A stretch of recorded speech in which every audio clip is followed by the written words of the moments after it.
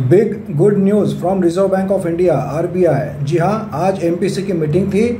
उसका आउटकम क्या आया है, उसमें क्या क्या हुआ, आइए बात करते हैं। उसके पहले आपको बता दूँ, अगर आपको मंडे के लिए चाहिए होगा जैकपॉट शेयर जो कि वन डे से टेन डेज़ में, आपको टेन परसेंट का प्रॉफिट दे दे तो मुझे व्हाट्सएप करके पूछ सकते हो nine five four five eight five double zero double zero इस नंबर पर। फ्रेंड्स, रिज़र्व बैंक की मीटिंग थी एमपीसी की मॉनिटरी पॉलिसी कमेटी की। जिसमें डिसाइड किया गया है कि इंटरेस्ट रेट बढ़ाना नहीं है इंटरेस्ट रेट उतना ही रखना है, जो कि 6.5 परसेंट था पहले, उतना ही रखा है। तो ये एक पॉजिटिव खबर आई आज हमारे मार्केट के लिए। रिज़र्व बैंक ने कहा है कि अभी फ़िलहाल इस मीटिंग में हम लोग इंटरेस्ट रेट नहीं बढ़ा रहे हैं बट रिज़र्व बैंक गवर्नर ने यह भी वार्निंग दी है कि इसका मतलब ये नहीं है कि आगे बढ़ेगा नहीं।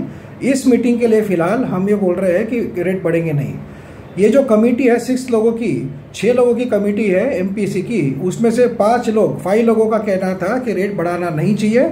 सिर्फ़ एक ही जन का कहना था कि रेट बढ़ाना चाहिए और इसीलिए मेजॉरिटी से ये डिसीज़न लिया गया है कि इंटरेस्ट रेट इस बार बढ़ाना नहीं है।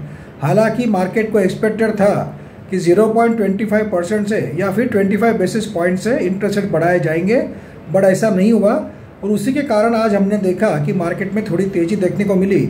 हालाँकि बहुत बड़ी तेज़ी होना चाहिए था बट मार्केट में जो ओवरऑल जो प्रेशर और भी ग्लोबल फैक्टर्स के बने हुए हैं, इसलिए अभी भी डर का माहौल मार्केट में रहता ही है और क्योंकि मार्केट ऑलरेडी पिछले हफ़्ते में काफ़ी भाग चुका है और इसीलिए अभी थोड़ा सा कॉन्सोलेट भी कर सकता है।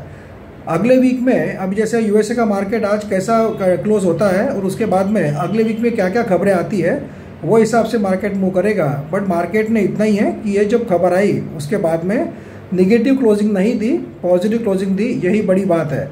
क्योंकि इंटरेस्ट रेट बढ़ाया जाता तो मार्केट गिर भी सकता था।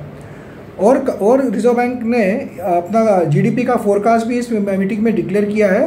6.5 परसेंट का फोरकास्ट दिया है फॉर द फाइनेंशियल ईयर 23-24 और उसके अगेंस्ट में वर्ल्ड बैंक ने जो फोरकास्ट दिया था, वो 6.6 परसेंट दिया था पहले, वो घटाकर अभी वर्ल्ड बैंक ने 6.3 परसेंट कर दिया था। जबकि रिज़र्व बैंक का जो फोरकास्ट है 6.5 परसेंट का है। देखना यह है कि आने वाले क्वार्टर्स कैसे जीडीपी ग्रोथ दिखाते हैं, ये काफ़ी इंटरेस्टिंग रहेगा देखना। उसी के ऊपर मार्केट भी चलेगा और रिज़र्व बैंक के जो अगले जो इंटरेस्ट रेट बढ़ाना कि नहीं बढ़ाना, वो भी डिसीज़न होगा। हालाँकि पिछले महीने में जो इन्फ्लेशन रेट था, वो भी घटकर आया था। वो हिसाब से थोड़ा सा रिज़र्व बैंक ने इस बार पॉज कर दिया है, क्योंकि रिज़र्व बैंक को भी मालूम है कि बहुत ज़्यादा प्रेशर है पूरे बैंकों पर और जो लोन लेते हैं उनको काफ़ी लोगों ने, मैं देखा अलग अलग जगह कमेंट किया कि इसमें आम आदमी का क्या फ़ायदा हुआ। अरे भाई इंटरेस्ट रेट नहीं बढ़े तो आपके जो लोन लेते हैं, आप कार पे लेते हैं, घरों पर लोन लेते हैं, या बैंक से फाइनेंस लेते हैं बिज़नेस के लिए, उसका भी इंटरेस्ट रेट बढ़ेगा नहीं। क्योंकि अगर यहाँ पे रेट बढ़ता था तो आपका इंटरेस्ट रेट भी बढ़ते हुए दिखता था, सभी ईएमआई के ऊपर। कोई मोबाइल ई पे लेता है कोई टीवी ई पर लेता है, कोई बाइक लेता है तो सभी के इंटरेस्ट रेट बढ़ते थे। तो रिज़र्व बैंक ने इंटरेस्ट रेट ना बढ़ाकर इवन कॉमन मैन को भी राहत की सांस दी है। थैंक यू फ्रेंड्स अब देखना यह है कि मार्केट नेक्स्ट वीक कैसा बिहेव करता है। बट ये तो एक गुड न्यूज़ हो गई, इसका टेंशन था, वो ख़त्म हो गया।